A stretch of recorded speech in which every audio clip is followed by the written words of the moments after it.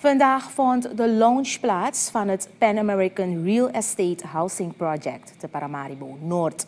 President Chandrika Prasad Santokhi deed de officiële opening en benadrukte dat met dit project een bijzondere bijdrage geleverd wordt aan het oplossen van de landelijke woningnood. Deze dag zal niet een dag zijn waarbij mensen ons zullen bekritiseren. Ja, waar zijn de woningen van de regeringen? Deze dag zal gekenmerkt worden dat wij als regering ook bijdragen aan die woningbouw. Maar met een andere strategie, een andere benadering en een andere visie.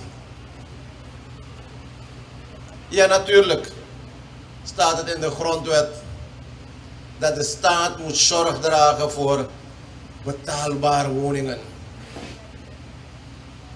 En dat de regering een woningbouwplan presenteert en uitvoert. Santoki zegt dat met het aangaan van partnerschappen, de overheid en de particuliere sector op een duurzame wijze kunnen werken aan de ontwikkeling van de infrastructuur. De president is zich ervan bewust dat er veel kritiek is, omdat de samenleving zaken sneller gedaan wil zien. Dus als regering moet je zorg dragen dat die infrastructuur komt en dat die mensen zelf kunnen bouwen, want er zijn heel wat mensen die zelf kunnen bouwen. En dat is al geïdentificeerd. En het komt komende week op de agenda van de regering. Tweede is namelijk gronden identificeren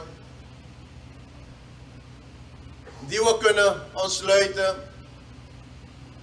verkavelen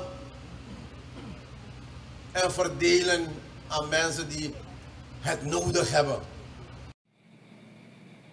De president benadrukt dat woningzoekenden niet hoeven te vrezen. Mensen die niet zelf kunnen bouwen zullen ook geholpen worden omdat er meer woningbouwprojecten zullen volgen. Santoki zegt dat het een plicht van de regering is om te voorzien in de behoeften van woningzoekenden.